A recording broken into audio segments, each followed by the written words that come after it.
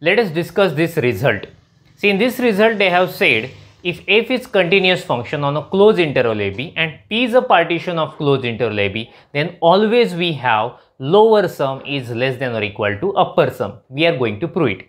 So what we have p is a partition of closed interval ab. So I am considering p is equal to a is equal to x naught, x1, x2 and so on xn which is equal to b be a partition of closed interval AB. Okay, I will show it here. So this is x naught, this is x1, this one is x2 and this will be, okay, so only three partitions I have considered here. Okay, so f is a continuous function on closed interval AB. So let me draw any continuous function on closed interval AB. So we have this function and because of this partition region, okay, which is bounded by this curve and this uh, x-axis will be divided in n number of parts. Actually in a diagram it will be divided in three parts but here I have considered n number of partitions so the actual region will be divided in n parts.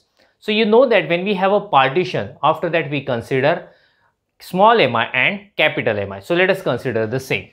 So let small mi is equal to you know the definition it is infimum of f of x such that xi minus 1 less than or equal to x less than or equal to xi, right?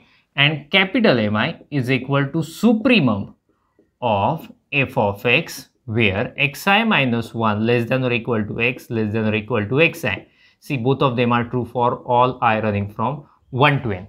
So that means in each interval we will find the supremum value of function and we denote it as small uh, capital Mi and we find the infimum value of a function and we denote it as small mi getting? So that means in the first interval we will have a supremum value somewhere. That supremum value will be capital m1 uh, infimum value will be small m1 for a second interval we will have a supremum value that will be capital m2 infimum value or the least value that will be small m2 in this way we, we can go further. So this is our small mi and capital mi so clearly small mi is the infimum that is the smallest value and capital Mi is the supremum that is the largest value.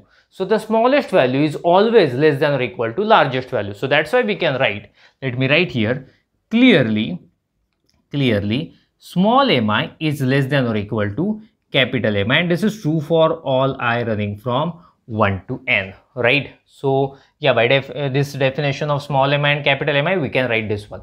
After that, what will I do? I will multiply both sides by delta xi. Let me do that. So therefore, small mi delta xi less than or equal to capital Mi delta xi. Okay, and this is again true for all i running from 1 to n. So you know that what is delta xi? In previous videos, we have already seen delta xi that means xi minus xi minus 1 getting? So that means if you want delta x1 that will be x1 minus x 0 delta x2 that means x2 minus x1 so that is delta xi.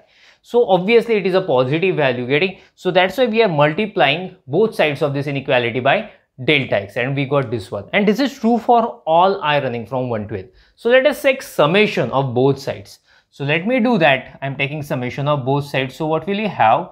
Summation i running from 1 to n small mi delta xi less than or equal to summation i running from 1 to n capital Mi delta xi. Getting? Since it is true for all i know. So if you add then we will have this summation.